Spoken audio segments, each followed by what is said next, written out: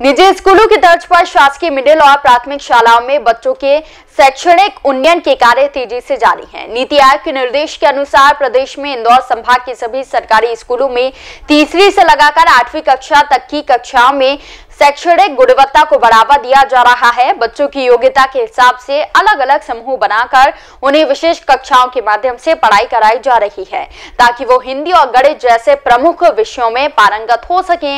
इंदौर संभाग के सभी स्कूलों में शैक्षणिक गुणवत्ता का कार्यक्रम स्कूल समय में एक्स्ट्रा पीरियड के माध्यम से लगाया जा रहा है। मध्य प्रदेश में प्राथमिक शालाओं, खासतौर पर शासकीय जो प्राथमिक विद्यालय हैं और माध्यमिक शालाएँ हैं। गवर्नमेंट के हाई स्कूल, हायर सेकेंडरी है। इन सभी स्कूलों में शिक्षा की गुणात्मक सुधार लाने के लिए लगातार प्रयास किए जा रहे हैं।